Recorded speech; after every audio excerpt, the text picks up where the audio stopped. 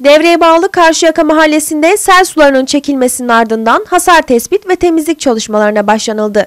Bölgeye iş makineleri ve kamyonlar sevk edildi. evlerden gelen e, atıklar, eşyalar. E, bir taraftan da görüyorsunuz orada temizlik çalışmaları var. İş yerlerinin içerisine sular girdi.